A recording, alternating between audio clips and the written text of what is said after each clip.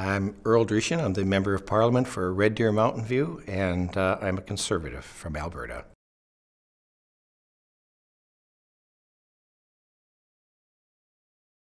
Well, it's uh, one of those times types of things that uh, where timing is significant. Uh, I had spent uh, probably 30 years of my life uh, working for people that I had wanted to get into politics, whether it was municipal or provincial or federal.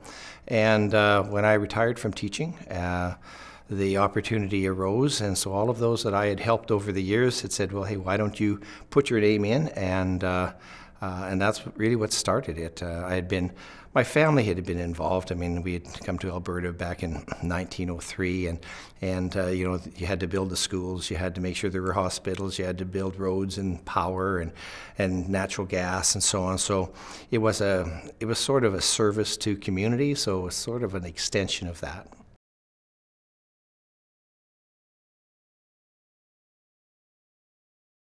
Well, I think the point is that you get a chance to help people. And I had a private members bill um, that changed the Criminal Code of Canada.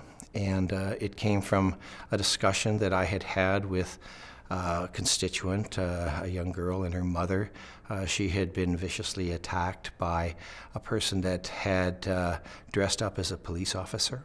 And um, so, of course, that was the disarming factor. And, uh, you know, she managed to escape, fortunately.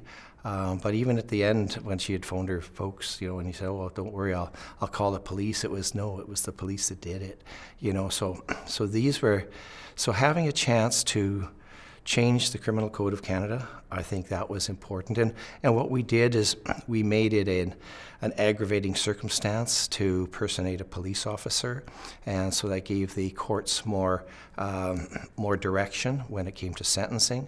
And I think when you talk about the proudest moment is that in the last 10 years, that is what I see more happening in other types of legislation when it comes to um, the Criminal Code of Canada. So, so I think that's probably, um, you know, from just the straight political side of it, that that's probably one of those things that I feel proudest of.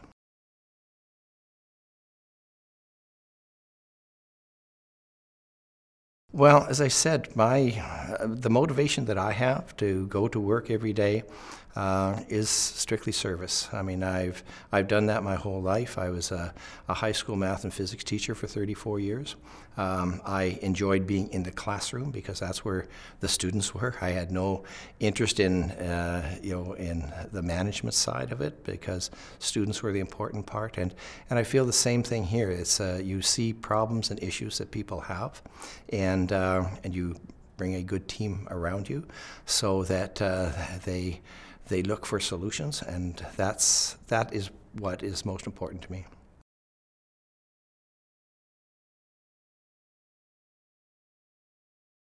Well, I had a lot of experience by helping former MPs and MLAs and so on, so I, I sort of felt like I, I knew what to expect.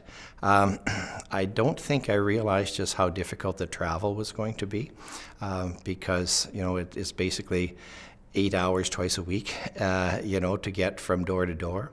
So that's uh, that I think has probably been the hardest part. I thought that I could handle it, and uh, um, but other than that, uh, I think I think I had a pretty good idea of what I was uh, was getting into, and again, I had a lot of great mentors, and that I think is the critical part. When you come here, um, you know, you you know that you're you're brand new. There's lots of things to learn. Uh, my my staff here in Ottawa, I had uh, the same staff as the former MP had. So, uh, and and her her job was to make sure I stayed out of trouble and didn't do anything wrong, and and uh, you know so she's managed to do that uh, over this last 15 years.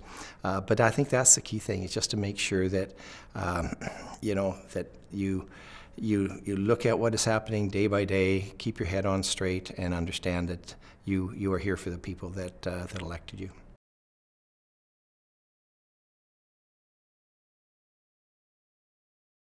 Well, I think the, the key aspect was with the private members bill that I spoke of before. When you're trying to to uh, get something done, um, you know, it wasn't it wasn't particularly um, difficult to get the legislation moved forward.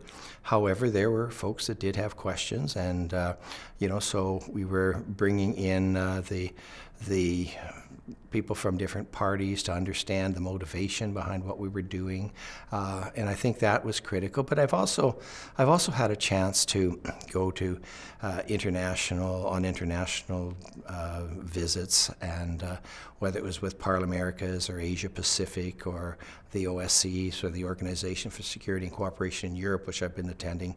Um, that's when you get a chance to to work with other political uh, parties, and uh, and usually for a for a common goal. And uh, you know, so that's that is one of those opportunities where you get to see things happening across party lines.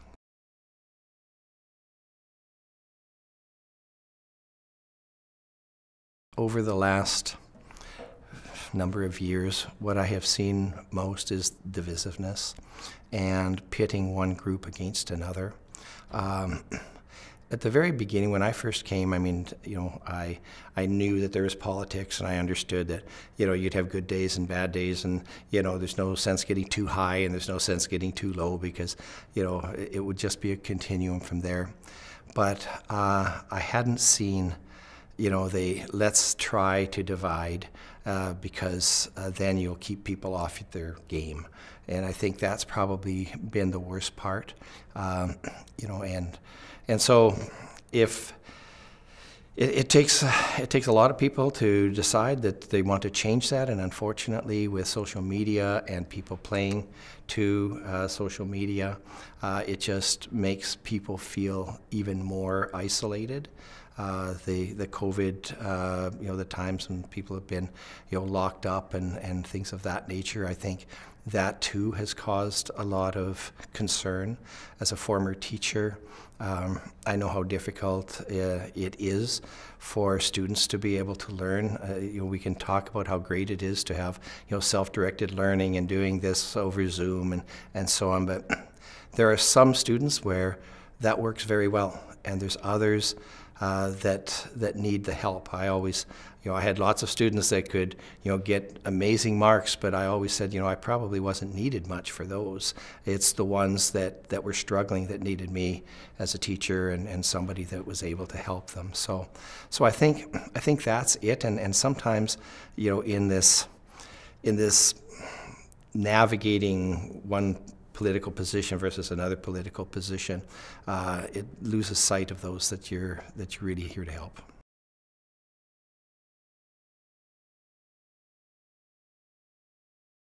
Well, as a former teacher, uh, I see the talent that is there. I have so many of my former students are engineers or doctors or farmers and, and, and construction workers and working on, on you know, oil rigs and so on where they really need a certain skill set and and they're interested in uh, uh, in helping out their communities and their families. So that that to me is the positive, um, and I think you know people having to do research and uh, and understanding that just the things that you see on Facebook or Twitter or the news even uh, needs needs to be thought of um, very analytically. And, uh, and if people do that, and if they, if they question and uh, want to look for other, uh, other voices in things that concern them, I think that, uh, I think that that is a way to navigate through the, um, sometimes the, the little traps that have been set for them when it comes to uh, whether it be politics or, or life in general.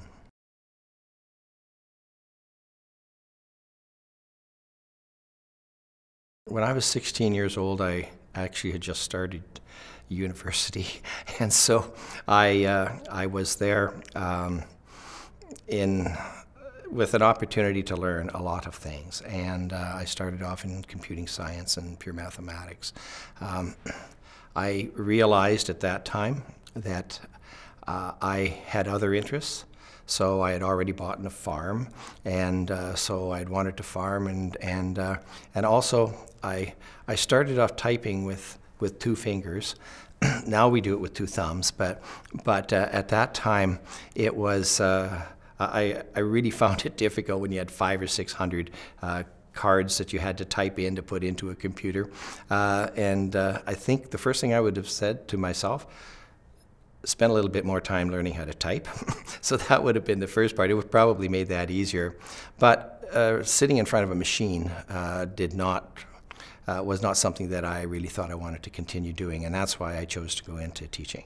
And uh, plus, I could be close to where I farmed and and uh, continue with with that love that I had, the love of the land. You know, so so learning things, and of course, now that I'm much older.